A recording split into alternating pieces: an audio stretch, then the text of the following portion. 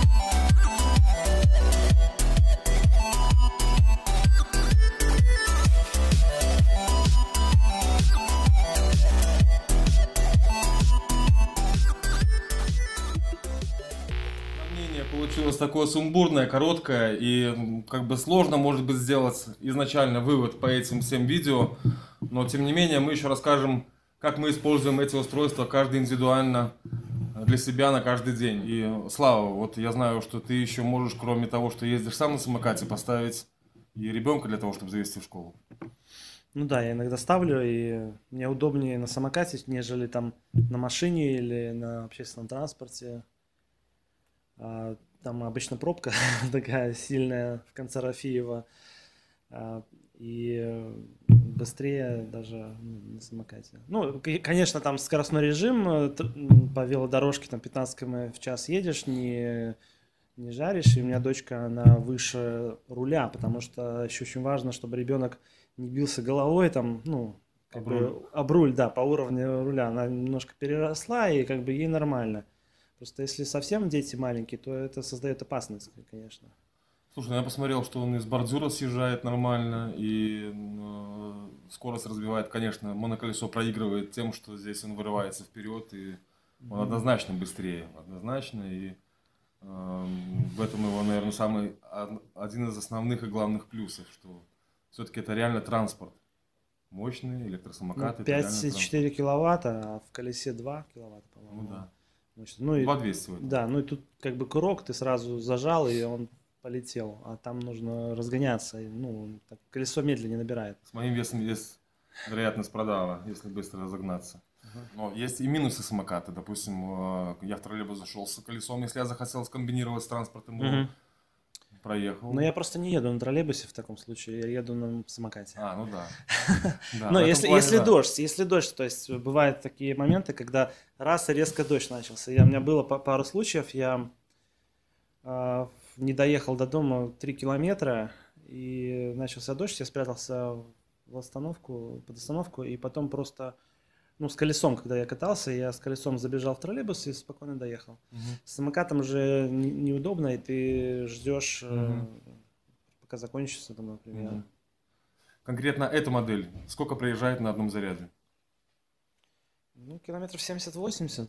Смотри, я считаю еще одним из основных плюсов моноколеса это то, что можно, э, когда тебе позвонили, поднять трубку на ходу, прямо разговаривать, ехать. На электросамокате ты отпустишь одну руку для того, чтобы поднять нет, телефон? Нет, естественно, руки отпускать нельзя. Это... Слушай, а что вообще, извини, что перебью, что вообще будет, если ты отпустишь руку? Ну, начнет трясти, ты, может, вывернуть руль, и ты кувыркнешься. А, я понял. То есть держать руль это основная задача райдера, крепко его держать. То Потому есть... что самокат, он, в принципе, из-под тебя вырывается. Это не мотоцикл, когда ты его обнял, угу. и ты на нем едешь, а самокат как бы из-под тебя. То есть там есть точки опоры, это руль одна угу. из, и задняя нога упирается там в педаль, и угу. ты очень тогда... То есть тебе нужно остановиться, а потом уже поднимать трубку? Или есть какая-то приблуда, которая э, Ну, можно помочь? в шлем встроить, там, какие-то динамики, спикеры. Но я просто не люблю разговаривать даже на если... ходу. на ходу. То есть для меня это ну, неприятно. Езда это удовольствие, то разговор это какой-то облом, облом. Я поэтому отвечаю только когда там перехожу, красный свет, там, ага, знаешь, или где-то там.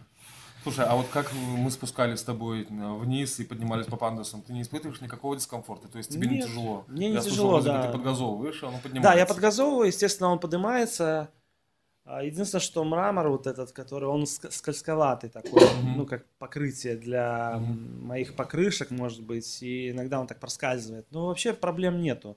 То есть я думал, что вес там 43 килограмма, по-моему, весит, что это будет как-то ой-ой-ой, но в принципе все, что мне нужно, это поднять его на 6 ступенек в подъезде, он влазит в лифт. А, влазит в лифт? Он влазит в лифт, да. Причем практически ровно, то есть там чуть-чуть э, зад немножко, там сантиметров на 10 отодвигаешь, и он поднимается. Ага.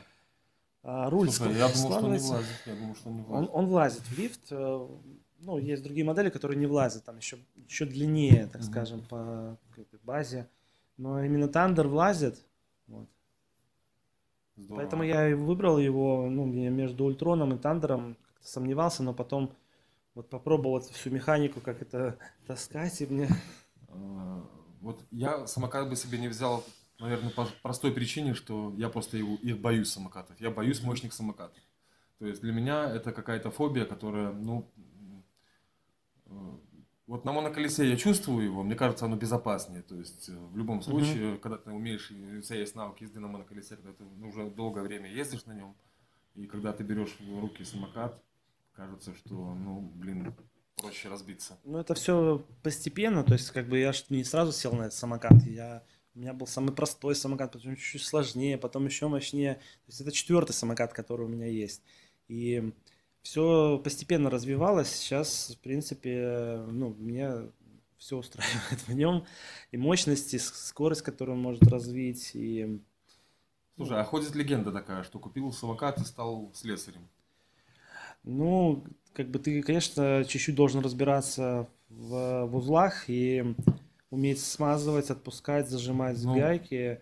Ну, для меня это кайф. То есть я, ну, работаю за компьютером, я фотограф, туда-сюда езжу, снимаю. Mm-hmm. Обработка за компьютером это всегда, ну, такая монитор, клавиатура, это, ну, скучная работа. Так ты хоть с руками что-то поделаешь, там чуть-чуть вымажешься, но ничего страшного.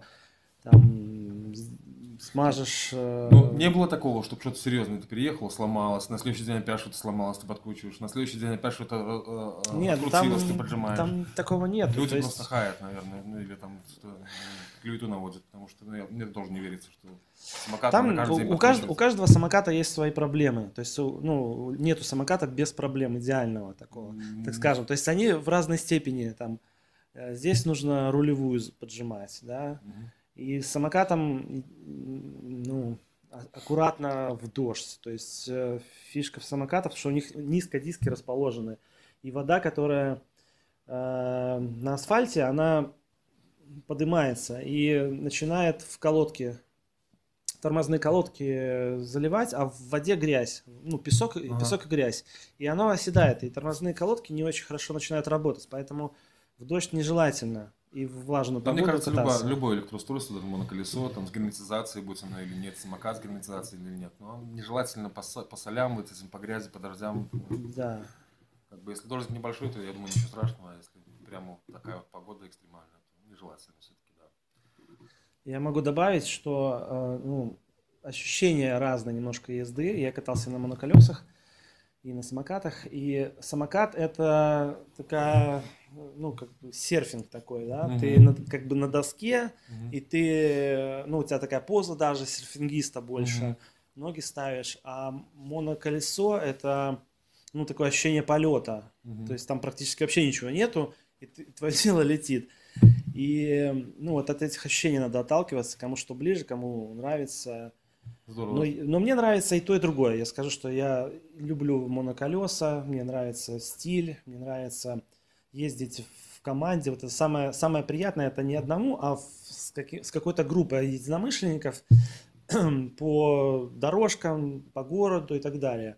А самокат это ну, вот еще такой прототип, может, э, картинг. То есть э, там очень резкий подрыв. Если ты ну, ходил в картинг-клуб и катался на картах, то есть там все такое гоночные сцепки такие, то вот Тандер это именно тот самокат, который ближе к картингу, и ну, только там нету такой площадки, весь город твоя площадка, естественно. Mm-hmm. Ты можешь где угодно кататься, там с маленькой. Mm-hmm.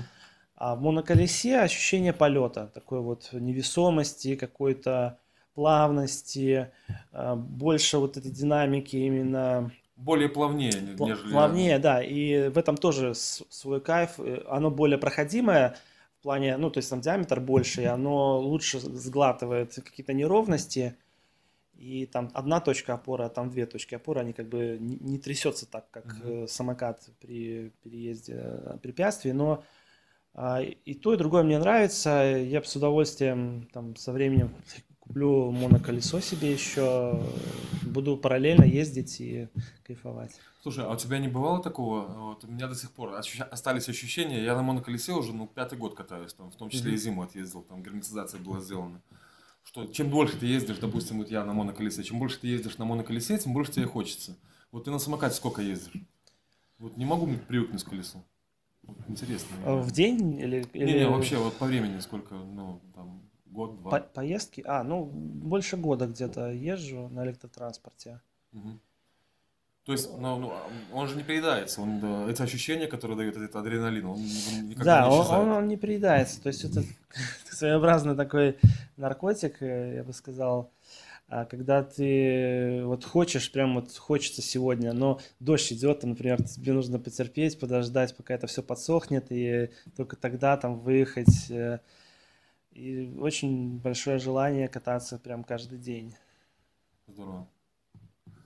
Слушайте, друзья, ну я так понимаю, что конкретного все-таки ответа нет, что лучше моноколесо или электросамокат. Я считаю, что дол- каждый должен выбирать для себя индивидуально. Никогда никого не слушайте, только слушайте то, что подсказывает вам ваше сердце. И опирайтесь на какие-то независимые обзоры, э, смотрите то, что рассказывают вам люди. Но тем не менее, делайте приобретение то, которое вы считаете для вас подойдет лучше. А с вами был магазин Ямакбай. Меня зовут Игорь. Это мой друг Вячеслав. Да. Слава, спасибо большое, что пришел. И всем до новых встреч. Спасибо за просмотр. До свидания.